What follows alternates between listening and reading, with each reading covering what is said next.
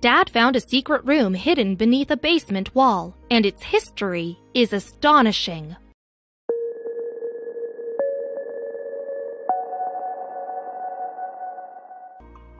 This family had always been told stories about how their home harbored a fascinating piece of American history, and in January 2014, they found out that wasn't all fiction. In fact, while renovating the basement of their house to improve its energy efficiency, they discovered a concealed opening in the foundation stones, and beyond it was a secret room. Photos of the extraordinary discovery were published on the image sharing website Imgur by a user who goes by the name of I've been to Yungay, he wrote. The room was found in the basement of the house I grew up in, which was completed in 1849. It is 25 miles south of the Canadian border. In fact, this family home had once connected people and places in very distant lands. And the room, which lay behind a brick wall hidden by a set of cylindrical water softeners, concealed a special history very much grounded in the turbulence of 19th century American politics. According to I've Been to Yungay, his family had long been told stories about a hiding spot under the fireplace. But instead of tearing up the living room floor, he said, they tried to find it from the basement. However, the hiding spot had to be extremely well concealed in order to escape the attention of federal agents and bounty hunters. Indeed, the room was hidden in the foundations of the house behind 32 inches of stone. But with the help of a small step ladder, I've been to Yungay was able to climb up to the opening and peer inside. And what he saw finally confirmed the rumors. His family home had once been part of the clandestine smuggling network. However, this particular smuggling ring did not handle illegal goods or stolen commodities, and the people operating it weren't gangsters.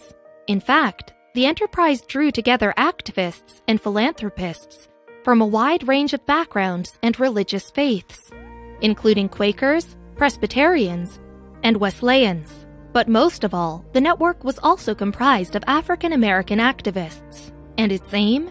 To provide escaped slaves passage to free states via a system of safe houses.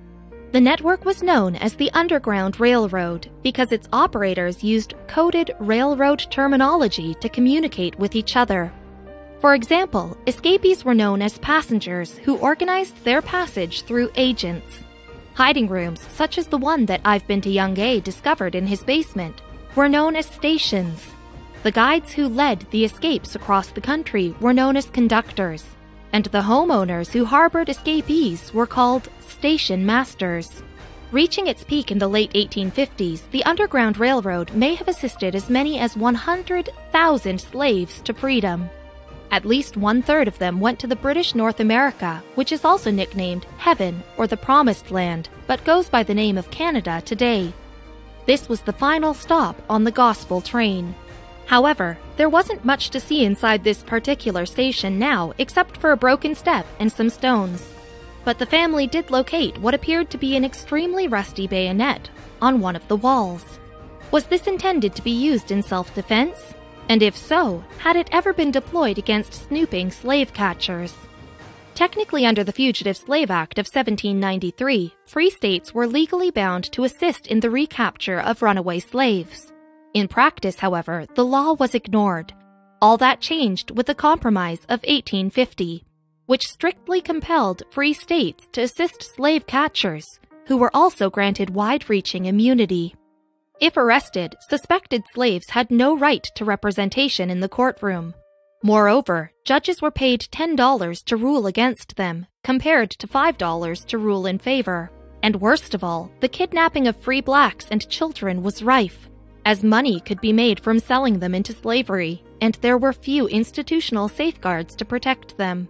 However, for those who could find it, the Underground Railroad offered the promise of freedom Details of safe routes and trustworthy contacts were transmitted by word of mouth. But in order to protect against infiltration, no single operator ever knew the entire workings of the operation, just the part pertaining to their own geographical area. Still, escaping from the plantation itself was often the hardest part of the getaway. Some conductors even risked their lives penetrating the grounds by pretending to be slaves themselves. The risks were huge, of course, but once inside, they were able to recruit potential escapees and guide them onward to the promised land. Led by a conductor, the fugitives would journey at night, usually in clusters of one to three people. They covered around 10 to 20 miles of ground each day, mostly on foot or by mule. This dangerous trek was broken with stops at designated houses, churches, barns, and other safe spots and messengers were deployed at each station to inform the next one that new passengers were coming. Undoubtedly, however, the real heroes of the Underground Railroad were African Americans. Among them, Harriet Tubman returned to the South no less than 19 times. Neither she nor any of her passengers were ever captured by the slave catchers, and her success in freeing hundreds of slaves earned her the title Moses of her people. Meanwhile, an African American businessman and abolitionist called William Still helped some 800 slaves to escape. He offered refuge to some of them at his house in Philadelphia, where he was able to document their fascinating biographies. Indeed, in 1872 he published these in a book entitled The Underground Railroad Authentic Narratives and First-Hand Accounts. And of the many white people who contributed to the cause, John Fairfield stands out in particular.